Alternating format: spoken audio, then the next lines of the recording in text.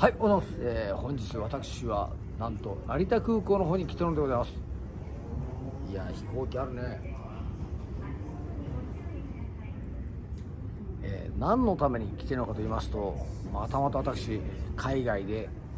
戦いに行くのでございます。うん。戦いに行くにあたってね、えー、もちろんまあ僕とすれば日本人として日の丸を背負ってね。そしてあのー、日本のね同年代のおっさん代表として戦っていきたいと思います、うん。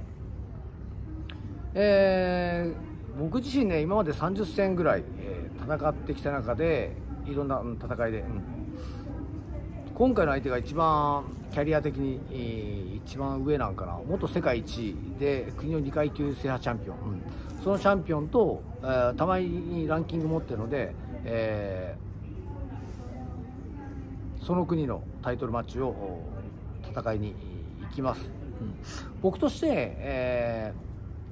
ー、今ある環境や現状の自分の身体能力と全て含めた上でやるべきことはしっかりやってきたので、えー、満足できる練習はある程度はできたんじゃないかなとは思います、うん、今ある現状の中でね、うん、であとはここに来る1週間前まで合宿してきました、うん、合宿しっかり走り込んできてあとは実践練習やとか、いろいろ自分が足りない部分を足してきたのでまあ当日の試合はまどうなるかわからないけれどもしっかりやりきりたいと思います。で普段通りのま試合であれば足を使ったりとかいろんな駆け引きの中でフェイント使ったりとかね、えー、そういう中でボクシングやるんですけども、まあ、今回ねちょっといろいろありまして、まあ、前半からあ場面場面があればしっかり足を止めてしっかり、えー、打ち合っていきたいな、うん、でその中からまあどっちにしてもね相手もガンガン来ると思うので、えーまあ、KO は絶対にどっちか勝つだろうし、あのー、決まるにしても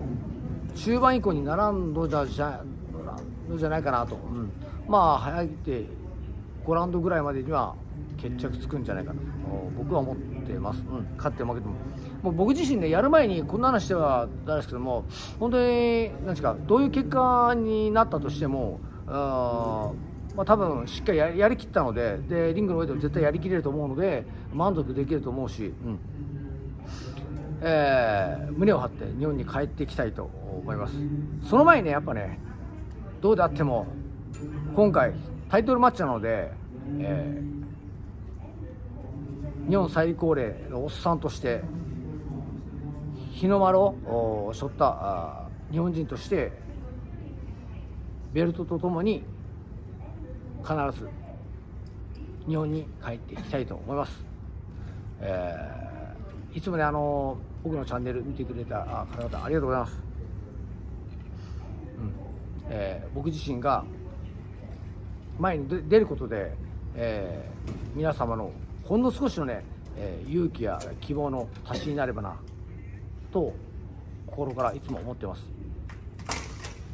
最後になりますけども必ず買って日本に帰っていきたいと思います、えー、本日はありがとうございました。